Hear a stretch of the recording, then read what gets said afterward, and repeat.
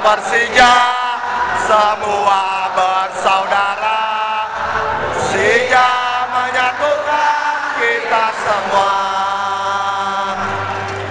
Persija menyatukan kita semua. Berapa terharu banget bener kemenangan hari ini benar-benar terharu dan bahagia.